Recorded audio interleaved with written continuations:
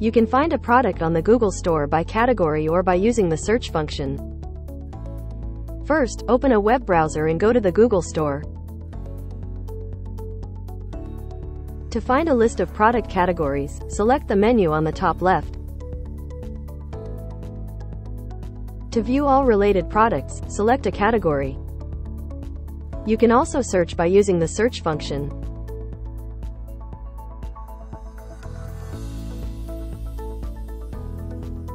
To get product features and pictures, click a product.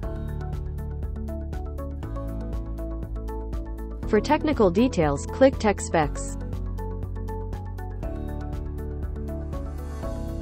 To learn more about the Google Store, watch our other videos or visit our Help Center.